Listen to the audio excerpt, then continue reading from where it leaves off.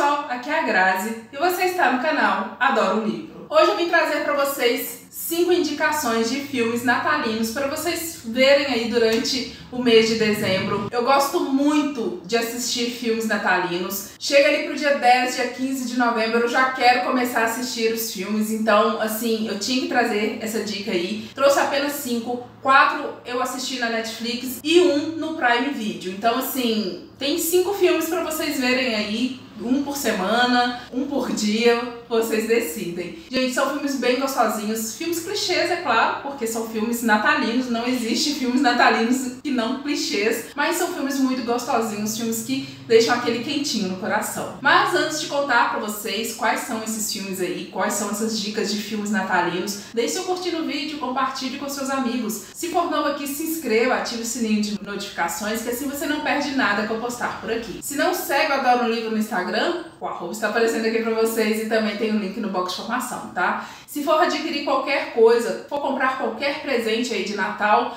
não se esqueça de comprar com o meu link que vai estar aqui no box de formação e comprando por ele vocês ajudam muito no crescimento do canal. Agora vamos lá que eu vou dividir com vocês aí esses cinco filmes bem legais para vocês assistirem agora durante o mês de dezembro. Claro que eu não poderia começar o vídeo sem falar sobre o retorno da Lindsay Lohan com uma quedinha de Natal. Gente, que filme gostoso de ver, sabe? É um clichêzão, é aquele pastelão de Natal que não tem, assim, outra fórmula, né? Mas é um filme muito gostoso, eu gostei bastante, apesar, assim, de sentir um pouco ali a mais de esforço de alguns atores tentando fazer com que o filme fosse um pouco mais comédia, sabe? Eu acho que foi um pouco forçado ali algumas partes, algumas cenas, mas foi um filme que eu gostei bastante, então eu vim aqui indicar pra vocês. Eu tenho certeza que todo mundo aí já assistiu, porque assim que estreou na Netflix, é na Netflix, tá, gente? Eu até esqueci de comentar. Assim que estreou na Netflix, eu vi muita gente falando, então eu fui lá assistir também. Eu gostei, dei aí quatro estrelas, mas, como eu disse, tem algumas partes ali forçadas, alguns atores mais forçados, mas o filme é ok, o filme clichêzão de Natal, que eu super indico pra vocês. Outro filme que eu assisti na Netflix foi O Natal Está No Ar. Também é um filme muito gostoso, gente.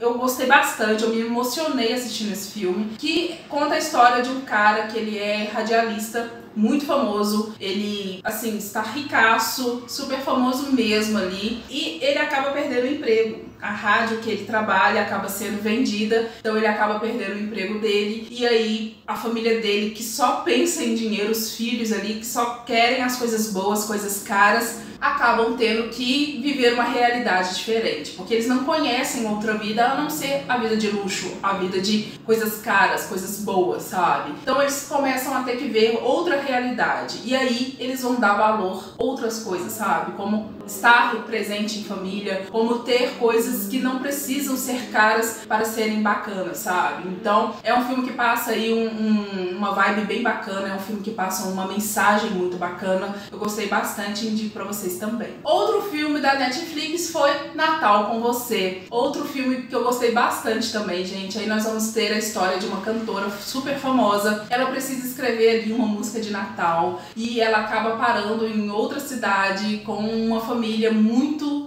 legal, uma família muito amorosa, muito carinhosa. E esse cara, ele escreve músicas, né? Ele toca também. Então ele acaba ajudando essa cantora famosa aí a escrever uma música pro Natal, para fazer o sucesso como a Mariah Carey com aquela música dela de Natal. E aí nós vamos ter então, né, o desfecho aí, é óbvio, bem clichêzão, os dois vão acabar é, se envolvendo. Gente, é um filme muito, muito gostoso de ver também, eu super indico pra vocês. E por último aí, que eu assisti recentemente, que eu assisti na Netflix também, tá, gente? Esses quatro filmes que eu falei que agora são da Netflix. Foi O Diário de Noel. Muito gostoso também de assistir, sabe? Um filme que traz também lições bem bacanas. Então, é, vai contar a história de um escritor muito famoso, ricaço, best-seller, que acabou de perder a mãe, não tem contato nenhum com o pai por causa de coisas do passado. E aí ele acaba conhecendo uma garota que ela estava à procura da mãe dela. A mãe dela trabalhou para a família dele quando eles ainda eram criança e ela está à procura da mãe, então os dois vão acabar indo ali em busca da mãe dela e aí vai ter toda aquelas cenas do amor surgindo entre os dois. E, gente, um filme muito gostoso de ver, eu super recomendo também. E assisti então na Prime Video aplicativo para o Natal, um filme bem gostosinho também de assistir, gente, eu, eu gostei bastante. É, aí vai contar a história de uma mulher que ela acaba criando uma agência, ela acaba criando um aplicativo ali é, de ir pro Natal para poder sair, fazer compras para as pessoas que não podem, para poder ajudar a escolher presentes para as pessoas que não têm tempo, sabe? E ela acaba então conhecendo um cara ali bem aleatoriamente num café e ele acaba pegando um cartão dela sem saber que é ela. E aí quando ele vai atrás dela para ela ajudar ele a escolher os presentes ali, tanto para a empresa que ele trabalha quanto para a família dele, ele acaba descobrindo que foi aquela moça que acabou ajudando ali no café. E aí os dois vão, claro, se envolver, vão sair em busca dos presentes e tudo mais. Ele acaba, ela acaba ajudando ele de uma forma muito bacana, porque ela acaba dando um outro valor para os presentes que ele queria comprar, sabe? Então passa, não passa a ser apenas objetos caros, objetos que as pessoas realmente querem ali por conta dos status, talvez. Mas é, ela acaba dando coisas mais sentimentais, coisas que vão trazer é, mais lembranças, mais sentimentos para as pessoas, sabe? Então, assim, é um filme também bem bacana que eu gostei bastante e recomendo para vocês. E é isso, gente. Esses são cinco filmes de Natal que eu queria vir aqui indicar para vocês. Quatro da Netflix e um do Prime. O Prime está bem caidinho, eu acho. O Prime Video está bem caidinho. É, eu não achei, não me interessei muito pelos filmes que, que tem lá, apenas por esse aplicativo para o Natal. Mas na Netflix, gente, tem muita, muita coisa. Mas para não ficar um vídeo muito grande, um vídeo muito chato, eu trouxe apenas essas quatro indicações aí para vocês, tá bom? Então é isso. Se vocês já assistiram esses filmes e tem mais dicas aí de filmes de Natal, se vocês gostam, deixa aqui nos comentários, por favor, tá bom? Eu espero muito que tenham gostado do vídeo de hoje. Se gostaram, não se esqueçam de curtir, de compartilhar com seus amigos e se for novo aqui, se inscreva.